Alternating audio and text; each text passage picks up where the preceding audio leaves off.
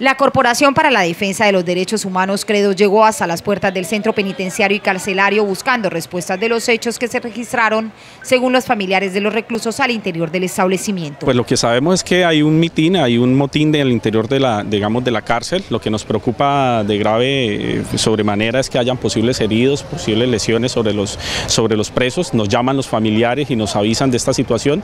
Lo que estamos diciendo es que se necesita garantizar, digamos, la integridad y los derechos fundamentales de las personas que que allá en el interior de la cárcel, así como la, digamos, eh, el acceso por parte de los familiares para saber sus condiciones. En este sentido entendemos que hay un protocolo que impide el ingreso de ellos en este momento.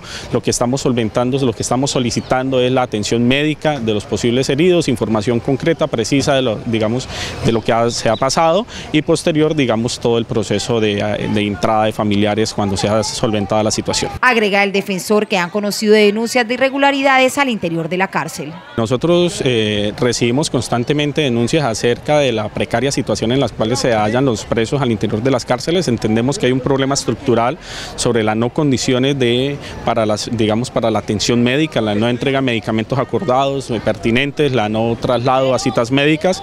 Entonces son una serie de elementos que están afectando directamente los derechos fundamentales de los presos. Finalmente, las familias que iban a visitar a sus seres queridos en la cárcel no pudieron ingresar.